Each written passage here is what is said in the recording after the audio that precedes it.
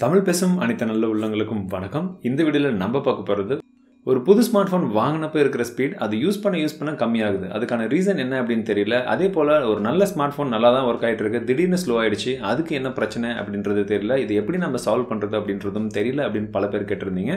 So அந்த பிரச்சனையெல்லாம் எப்படி சால்வ் பண்ணுறது என்னென்ன விஷயங்கள் பண்ணால் உங்களுக்கு இந்த மாதிரி ஹேங்கிங் ஆகும்? உங்கள் ஃபோன் வந்து ஸ்லோ ஆகும்? அப்படின்றத பற்றி தான் இந்த வீடியோவில் பார்க்க போகிறோம் அதுக்கு முன்னாடி தமிழ் டெக்குக்கு நீங்கள் இன்னும் சப்ஸ்கிரைப் பண்ணலன்னா இப்போவே கீழே இருக்க ரெட் கலர் சப்ஸ்கிரைப் பட்டனை கிளிக் பண்ணி சப்ஸ்கிரைப் பண்ணிக்கோங்க. உங்களுக்கு இதே போல் மேலும் பல டெக் வீடியோஸ் இலவசமாக காத்திருக்கு. ஸோ வாங்க இன்னைக்கு வீடியோக்குள்ளே போகலாம்.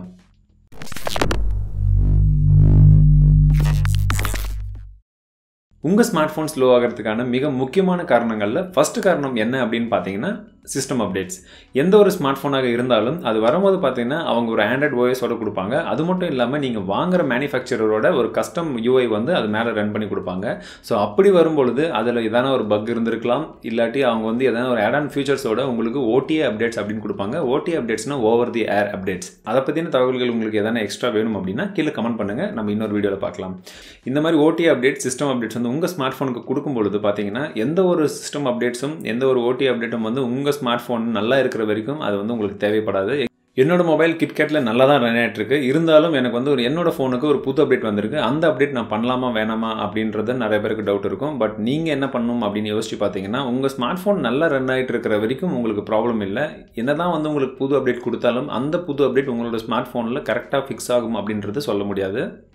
நீங்கள் அது போல் ஒரு அப்டேட் வந்த உடனே அப்டேட் பண்ணுறதுக்கு முன்னாடி நெட்டில் போய் சர்ச் பண்ணி பாருங்கள் அந்த பர்டிகுலர் அப்டேட்டை உங்கள் ஸ்மார்ட் ஃபோன் வச்சிருக்கிறவங்க வேறு யாராச்சும் அப்டேட் பண்ணியிருக்காங்களா அதில் ஏதாச்சும் ப்ராப்ளம் இருக்குது அப்படின்னு சொல்லியிருக்காங்களா அப்படின்றத செக் பண்ணி பாருங்கள் அந்த மாதிரி ஒரு ப்ராப்ளம்ஸ் வந்து வரக்கூடிய வாய்ப்புகள் நிறைய இருக்குது அப்படின்றதுனால ஓடி அப்டேட்ஸாக இருக்கட்டும் எந்த ஒரு ஃபியூச்சர் அப்டேட்ஸாக இருந்தாலும் நீங்கள் அதை அப்டேட் பண்ணுறதுக்கு முன்னாடி கூகுள்லேயோ இல்லாட்டி உங்களுடைய ஃபோரம்லேயோ செக் பண்ணி பார்த்துட்டு எந்த ஒரு பிரச்சனையும் இல்லை அப்படின்னா அதுக்கப்புறம் அப்டேட் பண்ணுங்கள் புது அப்டேட்டில் எந்த ஒரு பக் இருந்தாலும் உங்களோட ஸ்மார்ட் ஃபோனில் அந்த பக் வந்து என்ன மாதிரி விளைவுகள் ஏற்படுத்தும் அப்படின்றது உங்களுக்கு தெரியாது. ஸோ உங்களோட ஸ்மார்ட் ஃபோன் எந்த ஒரு பிரச்சனையும் இல்லாமல் ரன் ஆகிட்டு இருக்கு அப்படின்னா நீங்கள் அதை அப்படியே விட்டுருங்க. அப்டேட் பண்ணுறதை இப்போதைக்கு ஸ்டாப் பண்ணி வைங்க. ரெண்டாவது மிக முக்கியமான விஷயம் என்ன அப்படின்னு பார்த்தீங்கன்னா ஆப்ஸ் அப்டேட்ஸ் எந்த ஒரு நீங்கள் ஆப் இன்ஸ்டால் பண்ணாலும் ப்ளே ஸ்டோர்லேருந்து போய் இன்ஸ்டால் பண்ணுவீங்க. அந்த ஆப்ஸ்க்கு எல்லாமே பார்த்தீங்கன்னா டெவலப்பர்ஸ் வந்து ஒவ்வொரு சின்ன சின்ன பக்காக இருக்கட்டும் இல்லை ஒரு அப்டேஷனாக இருக்கட்டும் அவங்க ஒரு ஃபிக்ஸ் கொண்டு வரேன் அப்படின்னு சொல்லிட்டு புது புது அப்டேட்ஸ் வந்து அந்தந்த ஆப்ஸ்க்கு கொடுத்துட்டே இருப்பாங்க. அதில் என்ன ஒரு மிக முக்கியமான விஷயம் அப்படின்னு பார்த்தீங்கன்னா மார்க்கெட்டில் நீங்கள் வாங்கின ஸ்மார்ட் ஃபோன் ரெண்டு மாதத்துக்கோ மூணு மாதத்துக்கோ இல்லை ஆறு மாதத்துக்கோ பழசாக இருந்தால் இப்போ வரக்கூடிய புது புது ஸ்மார்ட் ஃபோனோட ப்ராசஸர் அதோட ஸ்பீடுக்கு தகுந்த மாதிரி அவங்க ஆப்பை வந்து அப்கிரேட் பண்ணிகிட்டே இருப்பாங்க.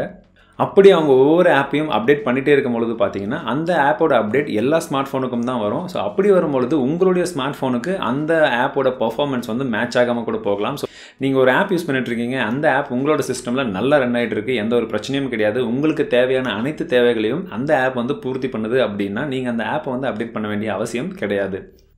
அதே போல் நீங்கள் ஏதாச்சும் ஒரு ஆப் கம்பல்சரி யூஸ் பண்ணணும். நீங்கள் யூஸ் பண்ண வேண்டிய அந்த ஒரு ஆப் மட்டும் பார்த்தீங்கன்னா ஏதாச்சும் ஒரு சின்ன சின்ன பிரச்சனை கொடுத்து கொண்டே இருக்குது அப்படின்றது உங்களுக்கு தெரிஞ்சிச்சுன்னா நீங்கள் ப்ளே ஸ்டோரில் அப்டேட் பண்ணுறதுக்கு முன்னாடி அவங்க அந்த அப்டேட்டில் என்னென்ன ஃபிக்ஸஸ் கொடுத்துருக்காங்க அப்படின்றத அந்த அப்டேட்டுக்கு கீழே அவங்க கொடுத்துருப்பாங்க. ஸோ அதை படித்து பார்த்துட்டு உங்களோட ஃபிக்ஸ் வந்து அந்த அப்டேட்டில் இருந்தால் மட்டும் அப்டேட் பண்ணுங்கள் அதே போல் நீங்கள் என்ன தான் ஃப்ரீ இன்டர்நெட் இல்லாட்டி ஃப்ரீ ஒய்ஃபைல யூஸ் பண்ணிட்டு இருந்தாலும் உங்களோட ஆப்போட அப்டேட்ஸ் எல்லாம் ஆட்டோமேட்டிக்காக அப்டேட்ஸ் ஆகிட்டே இருக்கும். ஒரு நெட் கனெக்ட் பண்ண உடனே அது எல்லாமே பார்த்தீங்கன்னா நீங்கள் ப்ளே ஸ்டோரில் போயிட்டு ஆட்டோ அப்டேட் ஆகாமல் நீங்கள் ஆஃப் பண்ணி வைக்கலாம். மூன்றாவது மிக மிக முக்கியமான விஷயம் இது எல்லா ஸ்மார்ட் ஃபோனுக்கும் பொருந்தும். அது என்ன அப்படின்னு பார்த்தீங்கன்னா அதிகப்படியான ஆப்ஸ் அதிகப்படியான ஆப்ஸ்னால் என்ன அப்படின்னு யோசிக்கிறீங்களா? புது ஸ்மார்ட் ஃபோன் வாங்கும்போது பார்த்தீங்கன்னா அவங்க கம்பெனி சைட்லேருந்து கொடுக்கக்கூடிய ஆப்ஸை தவிர நீங்கள் அதுக்கப்புறம் வந்து பல ஆப்ஸ் இன்ஸ்டால் பண்ணிட்டு இருப்பீங்க. எஸ்பெஷலி வந்து புது ஸ்மார்ட் ஃபோன் வாங்கின உடனே அதோட ஸ்பீடை டெஸ்ட் பண்ணணும் அதோட பவர்ஃபுல் என்னென்ன இருக்குது அப்படின்றத செக் பண்ணணும். அது எந்த அளவுக்கு வந்து கேமரா நல்லா இருக்குது எந்த அளவுக்கு கேமிங் பர்ஃபார்மன்ஸ் கொடுக்குது. ஃபோனை வாங்கினதுலேருந்து பல ஆப்ஸை வந்து புது புது ஆப்ஸை வந்து ட்ரை பண்ணிகிட்டே இருப்பீங்க. அதுவும் இல்லாமல் உங்களுக்கு ஃப்ரீயாக கேஷ் கிடைக்குது ஃப்ரீயாக வந்து கிரெடிட்ஸ் கிடைக்குது அப்படின்னு சொல்லிட்டு ஒவ்வொரு ஆப்பையும் வந்து இன்ஸ்டால் பண்ணி இன்ஸ்டால் பண்ணி நீங்கள் அன்இன்ஸ்டால் பண்ணும்போதெல்லாம் வெறும் ஆப் மட்டும் தான் மேலோட்டமாக அன்இன்ஸ்டால் ஆகும். அப்படி நீங்கள் தேவையில்லை அப்படின்னு அன்இன்ஸ்டால் பண்ணுற ஆப்ஸோட ஃபைல்ஸ் எல்லாம் பார்த்தீங்கன்னா உங்களோட சிஸ்டமோட மெமரியில் போய் சேவ் ஆயிருக்கும். இது நீங்கள் என்ன தான் வந்து சாஃப்ட்வேர் போட்டு க்ளீன் பண்ணாலும் ஒரு சில ஃபைல்ஸ் எல்லாமே வந்து உங்கள் சிஸ்டம் மெமரியிலே ஸ்டோர் ஆகி டம்ப் ஆனதுனால இதோட கார்பேஜ் ஃபைலாக மாறிடும். நீங்கள் ஃபோனை யூஸ் பண்ண யூஸ் பண்ண அது உங்களுக்கு ஸ்லோவாக இருக்கும். இதே விஷயத்தில் மிக முக்கியமான விஷயம் இன்னும் என்னென்ன என்னென்னு பார்த்தீங்கன்னா அன்இன்ஸ்டால் பண்ண ஆப்போட கார்பேஜை பார்த்துட்டோம் பட் நீங்கள் வச்சிருக்கிற ஆப்பில் பல கார்பேஜஸ் இருக்குது என்ன அப்படின்னு பார்த்தீங்கன்னா பல ஆப்ஸ் நம்ம இன்ஸ்டால் பண்ணியிருப்போம் உங்கள் ஃப்ரெண்டுக்கிட்ட இருந்து வாங்கியிருப்போம் இது அவர் யூஸ் பண்ணுறாரு நல்லா இருக்குது அப்படின்னு சொன்னாருன்னு சொல்லி பல ஆப் வாங்கியிருப்போம் பட் அந்த ஆப் வந்து நம்ம கடைசி வரைக்கும் யூஸே பண்ணியிருக்க மாட்டோம். உண்மையிலேயே அந்த ஆப் நம்மளுக்கு யூஸே இருந்திருக்காது. ஸோ அந்த மாதிரி உங்கள் ஸ்மார்ட் ஃபோனில் நீங்கள் என்ன ஆப் வச்சுருக்கீன்றதை ஒரு நிமிஷம் பாருங்கள் உங்கள் ஆப் ட்ராவரை நீங்கள் லான்ச் பண்ண உடனே உங்கள் ஆப்ஸ் எல்லாமே மொத்தமாக லிஸ்ட்டாக வரும். அதில் நீங்கள் அரேஞ்ச் பண்ண வேண்டியது ஏ டு செட் அரேஞ்ச் பண்ணாமல் நீ மோஸ்ட் ஃப்ரீக்வெண்ட்லி யூஸ்ட் ஆப்ஸ் அப்படின்ற மாதிரி செட் பண்ணிங்கன்னா நீங்கள் அதிகப்படியான யூஸ் பண்ண ஆப்ஸ் எல்லாமே உங்களோட ஃபஸ்ட் பேஜில் வந்துடும் அதே போல் யூஸே பண்ணாத ஆப்ஸ் எல்லாம் பார்த்தீங்கன்னா கடைசி பேஜில் போயிடும். ஸோ அதில் நீங்கள் எந்த ஆப் வந்து நீங்கள் யூஸே பண்ண மாட்டீங்க இனிமேட்டும் யூஸ் பண்ண மாட்டீங்க அது சிஸ்டம் ஆப்ஸாக இல்லாமல் இருந்தால் நீங்கள் அதை ஃபஸ்ட்டு அன்இன்ஸ்டால் பண்ணுங்கள் அது உங்களுக்கு கம்பல்சரி தேவைப்படாது. நான்காவது விஷயம் என்ன அப்படின்னு பார்த்தீங்கன்னா உங்களோட ஃபைல் சிஸ்டம் உங்களோட ஃபைல் சிஸ்டம் அப்படின்றது கொஞ்சம் டெக்னிக்கலாக போக வேண்டியதாக இருக்கும். அது என்ன அப்படின்னு பார்த்தீங்கன்னா நீங்கள் நீங்கள் ஃபோன் புதிதாக வாங்கும்போது பார்த்தீங்கன்னா உங்களோட சிஸ்டம் மெமரி எல்லாமே ரொம்ப ஃப்ரெஷ்ஷாக இருக்கும். பட் நீங்கள் ஒவ்வொரு டைமும் வந்து அதில் ஆப்ஸ் இன்ஸ்டால் பண்ணும்போது தான் இருக்கட்டும் ஃபோட்டோஸ் எடுக்கிறப்ப இருக்கட்டும் வீடியோஸ் போடுறப்பையாக இருக்கட்டும் என்ன விஷயங்கள் நீங்கள் அந்த மெமரியில் வந்து ஸ்டோர் பண்ணிகிட்டே இருந்தாலும் அந்த மெமரி வந்து உள்வாங்கிக்கிட்டே இருக்கும். அந்த காலியான இடத்துல ஒவ்வொரு மெமரியில் அதை ஃபில் பண்ணிகிட்டே இருக்கும். அப்படி ஃபில் பண்ணிகிட்டே இருக்கும்போது பார்த்தீங்கன்னா அதோட ஸ்பேஸ் எல்லாம் வந்து கம்மியாகிட்டே இருக்கும். ஸோ நீங்கள் அடுத்த தடவை ஏதாச்சும் ஒரு ஃபைலையோ ஏதாச்சும் ஒரு ஆப்பையோ நீங்கள் ஓப்பன் பண்ணும்பொழுது அதிகமான ஃபைல் இல்லாத இடத்துல ஒரு ஃபைலை எடுக்கிறதுக்கும் ஃபுல் அண்ட் ஃபுல் ஒரு ஃபைல் ரொப்பிட்டு இருக்கிற இடத்துல ஒரு ஃபைலை மட்டும் எடுக்கிறதுக்கும் பல வித்தியாசங்கள் இருக்குது ஸோ அப்படி ஒரு ஃபைல்ஸ் எல்லாம் வந்து நிறைஞ்சிருக்கிற இடத்துல இருந்து ஒரு ஃபைலை மட்டும் எடுக்கும் பொழுது பார்த்தீங்கன்னா அதோட ஸ்பீடு வந்து ரொம்ப கம்மியாக இருக்கும்.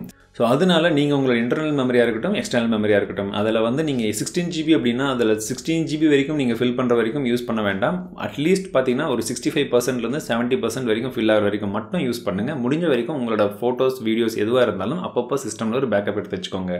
ஐந்தாவதாக மிக முக்கியமான விஷயம் என்ன அப்படின்னு பார்த்தோம்னா ஆட்டோ ஸ்டார்ட் உங்கள் ஸ்மார்ட் ஃபோன் நீங்கள் ஆன் பண்ணதுலேருந்தே பார்த்தீங்கன்னா உங்களுக்கு தெரியாமையே பல ஆப்ஸ் வந்து பேக்ரவுண்டில் ரன் ஆகிட்டே இருக்கும். ஸோ உங்கள் பேக்ரவுண்டில் ரன் ஆக வேண்டிய ஒரு சில கூகுள் ஆப்ஸாக இருக்கட்டும் உங்கள் சிஸ்டம் ஆப்ஸாக இருக்கட்டும் அதை தவிர பார்த்தீங்கன்னா உங்கள் வாட்ஸ்அப் ஃபேஸ்புக் மற்றும் பல ஆப்ஸ் வந்து பேக்ரவுண்டில் உங்களுக்கு தெரியாமல் ரன் ஆகிட்டு இருக்கும்.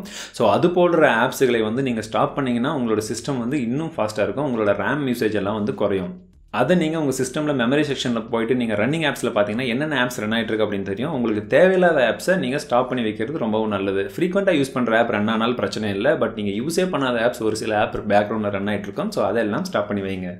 ஆறாவதாக இன்னொரு பாயிண்ட் இருக்குது அது என்ன அப்படின்னு பார்த்தீங்கன்னா லான்ச்சர்ஸ் ஸோ நீங்கள் யூஸ் பண்ணுற லான்ச்சர்ஸ் எவ்வளோ கலர்ஃபுல்லாக இருந்தாலும் சரி அதுக்கு ஓரளவுக்கு மினிமலிஸ்டிக்காக இல்லை நீங்கள் பலவிதமான கலர்ஃபுல் கலர்ஃபுல்லான லான்ச்சர்ஸ் வந்து அந்த தீம்ஸும் அதில் இருக்குன்னு அதனால தான் அதை யூஸ் பண்ணிட்டுருக்கேன் அப்படின்னு சொல்கிறவங்களா இருந்தாலும் உங்கள் சிஸ்டம் ஸ்லோ ஆகிறதுக்கான ஒரு மிக முக்கியமான காரணம் அந்த லான்ச்சராக கூட இருக்கலாம். நீங்கள் யூஸ் பண்ணுற லான்ச்சர் கூகுள்னோ இல்லாட்டி லோவர் லான்ச்சர் போல் ஒரு சிம்பிளான லான்ச்சராக இருந்தால் பிரச்சனை கிடையாது. பட் நீங்கள் யூஸ் பண்ணுற லான்ச்சர் எந்த அளவுக்கு வந்து ஹெவியாக உங்கள் மெமரி எடுக்குது அப்படின்றது தெரிஞ்சுக்கிட்டு அந்த லான்ச்சரை யூஸ் பண்ணுங்கள் அது உங்களுக்கு பெஸ்ட்டாக இருக்கும்.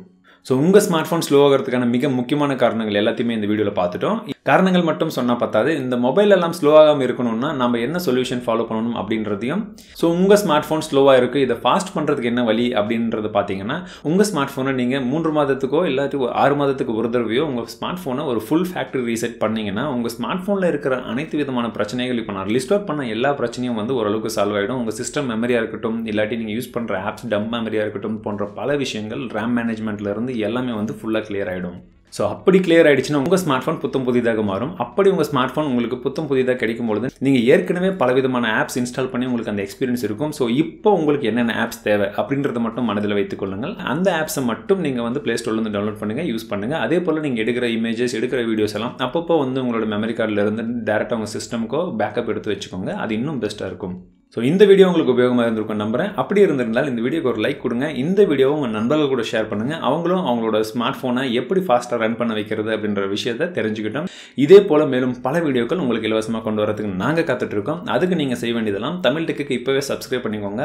இதே போல் இன்னும் பல தகவல்கள் நம் தமிழ் மொழியில் நான் உங்களுக்கு கொண்டு வரதுக்கு காத்துட்ருக்கேன் எங்களோட ஃபேஸ்புக் பேஜை லைக் பண்ணிக்கோங்க. புது புது அப்டேட்ஸ் எல்லாமே எங்களோட ஃபேஸ்புக் பேஜில் வந்துட்டு இருக்கும். அடுத்தது என்னென்ன வீடியோஸ் போடுறோம் புது புது லேட்டஸ்ட் அப்டேட்ஸ் எல்லாமே எங்களோட ஃபேஸ்புக் பேஜில் தான் வரும்.